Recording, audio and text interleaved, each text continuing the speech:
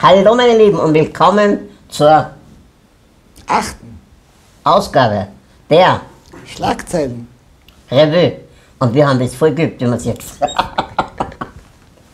Alles klar, ja, ähm, ab jetzt, Leute, spektakulär und neu, parallel Facebook und, YouTube. genau, also Mabacher TV auf YouTube oder eben auf Facebook. Egal wo ihr seid, immer 18 Uhr, die Schlagzeilenrevue, sonntags, 8 Milliarden können uns zuschauen. potenziell. Natürlich. Dann fangen wir an. Genau. Manche Nachrichten sind ja so unglaublich, wenn die nicht in einer Qualitätszeitung stehen würden, die täte man nicht glauben. Hast du das mit Saudi-Arabien gesehen? Mit dem Yoda, Ja, im Schulbuch. Das ist ja Wahnsinn. Ich finde solche Sachen ja richtig, richtig gefährlich, wenn es um die Jugend geht. Überlege mal, wenn du unsere Jugendlichen, unsere Kinder, die Kleinen fragst, wie schaut eine Kuh aus? Sagen soll die ist lila. Weil sie es von der Milka kennen, oder? Und wenn du jetzt die Kinder sagst, dass der Yoda neben einem Kaiser oder König oder was immer das ist, Ein König ist das. König ist er, ja? Ja. Wenn der immer König sitzt, vor 50 Jahren oder 60, dann glauben die, dass es den wirklich gibt. Naja, und zukünftige Generationen behaupten dann, 1945 war der erste Außerirdische in der UNO. Kinder, Yoda gibt's nicht wirklich. Na, das stimmt auch wieder nicht. Doch, Doch, gibt's nicht. gibt's nicht. Tut mir leid, Martin. Aber im Schulbuch. Ja. Gehen wir zur nächsten über. Also, du hast ja Geschwister, oder? Ja. Ich war Geschwister. Da gibt's immer diese Rivalität. Na, Mama, warum kriegt der Markus das und ich nicht? Und warum kriegt Simone das und ich nicht? Bist du der Jüngste? Nein, ich bin der Älteste. Du auch? Ja, Ja, dann brauchen wir eigentlich nicht weiterreden. eben. Ja. Aber was war da? Aber das ist so geil. Die Österreich macht sie wirklich, ah die Österreich sage ich, Entschuldigung, die heute natürlich. Die heute macht sie auf Recherche und findet raus, wie viel Geld die Parteien da Österreich in den Arsch schieben mit Anzeigenbudget und die Ärmel mit. Darf ich dich korrigieren? Bitte. Das sind nicht die Parteien. Das sind die Ministerien, das ist unser Steuergeld. Da ist aber auch wieder was was dran. Aber wurscht, was war die Meldung? Okay, also unser Steuergeld wird laut heute unfair verteilt. Die heute kommt zu kurz. Und ich, mein, ich selber bin ja immer einer, der die verteidigt.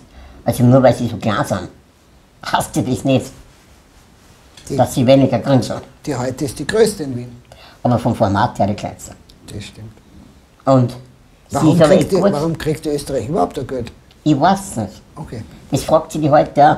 Weil die haben eigentlich keine Auflage. Kein Inhalt? Naja, das wollen wir jetzt nicht diskutieren. Nein, Oh ja, Sie haben- Inhalte. Sie haben Inhalt? Sie haben die Anzeigen der Ministerien. Stimmt. Okay, liebe Leute, dieser Artikel ist äh, interessant, aber er ist sehr, sehr weinerlich und bitchig geschrieben. Ja.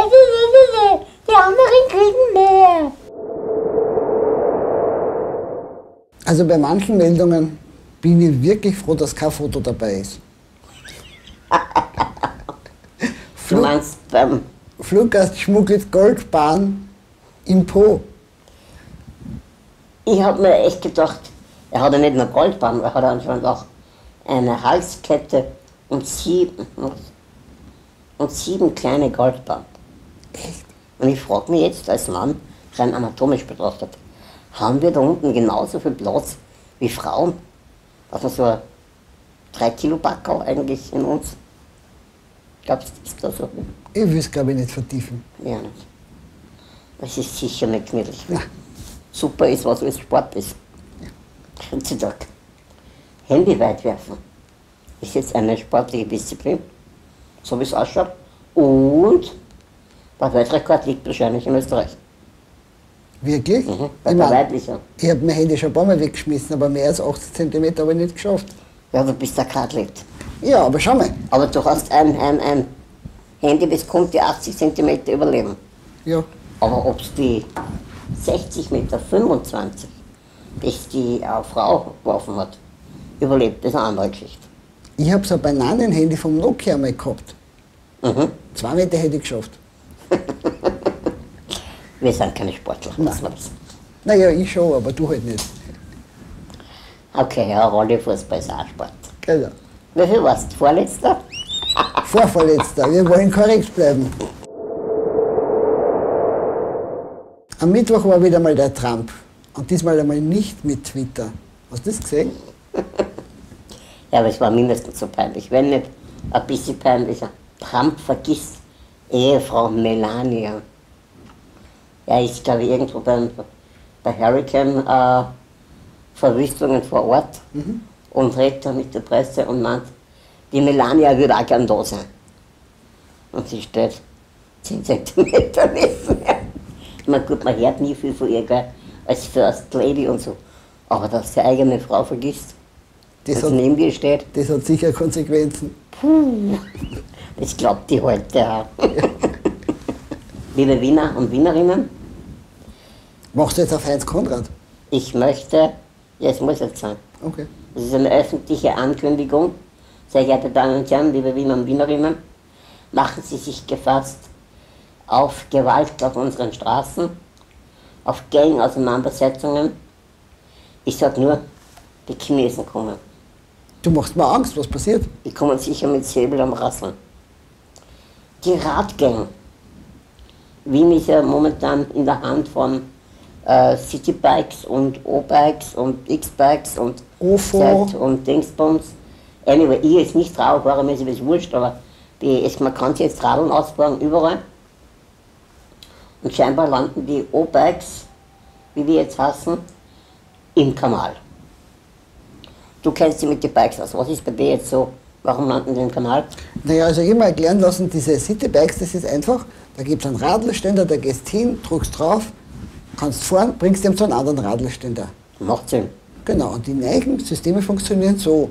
Du schaust mit dem Handy, wo ist das Radl, das hat so eine Ortung drinnen. Ja. Das kann irgendwo stehen. Du gehst hin, fotografierst das Radl, dann kriegst du einen Code und kannst das Radl entsperren und fährst weg. Okay. Du kannst aber auch wieder irgendwo hinstellen. Am Gehsteig, Ich kann damit nach ohne ins Radeln. kannst du auch machen. lassen. Genau. Na? Challenge accepted, Leute. Jetzt haben wir noch ein paar Kilometer. Nein, aber du kriegst Minuspunkte, wenn du das nicht gescheit abstößt. Gib beim Führerschein. Ja. Du, wo wir schon beim Führerschein sind. Der ÖMTC Winter kommt. Der hat wieder mal die Reifen getestet. Und er sagt, nur vier waren top. Das verstehe ich nicht, ich brauche eh nicht mehr als vier. Ich Dank heute weiß ich ja, dass der Dyson, das ist der, der den tollen Staubsauger da entwickelt hat, jetzt an ein Elektroauto bastelt. Was hältst du davon? du, alles was umweltschonend ist und zukunftsweisend und uns nicht umbringt, weil es Roboter sind, ist okay. Ist gut. Und ich finde es sehr gut, was er da sagt und so. Er will da das, äh, er wolle eine Lösung für das globale Problem der Luftverschmutzung finden, sagt er. Das Problem, sein Ansatz ist aber, das Ganze wird nicht günstig. Also das Auto, das er baut. Sagt er schon im Vorhinein, du, das wird super, das wird alles gehen, aber günstig wird es nicht. Und auf der anderen Seite will er aber eine globale Lösung für die Luftverschmutzung finden. Das heißt, ein paar Leute in Kalifornien können sich das Auto leisten und der Rest eh wieder nicht. Also jetzt haben wir eh wieder beim Musk. Der Trump. Ist guter, man muss ihn einfach lassen. Ich meine, ein dankbarer muss er, ist er schon, weil Dankweise, ja. du fährst jeden, jeden Tag fast eine Geschichte bei ihm. Ja, wirklich, ja. Dümmer und dümmer. Dumm und dümmerer. Ja. Und ist beides. anyway, ähm, jetzt gibt es in Amerika diese, diese Kontroverse mit dem Kniefall. Das gehört davon? Ja, kurz aber noch, was war da genau? Weil es ist so, dass bei die Amis sind, wenn die Nationalhymne steigt, stehen sie da mit der rechten Hand am Herzen und stehen ganz steif und singen mit. Die nehmen das Ole. urernst. Die nehmen das urernst, genau. Und weil halt da drüben jetzt viel gegen Schwarze und gegen Ungerechtigkeiten und seit Trump ist es nicht besser geworden. Jetzt haben wir ein paar gemeint, wir ehren die Flagge schon, aber wir knien uns hin. Und der Trump hat das jetzt zu einer Major-Geschichte aufblasen, weil er dem Königskind der amerikanischen Gesellschaft ins Bein pinkelt. NFL, National Football League. Die Arme sind deppert mit dem. Und er will jetzt verbieten, dass die Leute sich hinknien bei der äh, Staatshymne. Ich glaube, der weiß nicht, mit wem er sich da an, ein, anlegt. Das kriegt er nie durch. Du, ich denke mir einfach, wenn sich er mit solchen Sachen beschäftigt, ist es kein Wunder, dass es einfach auf der Kiste daneben steht. Und, was ist mit Freitag?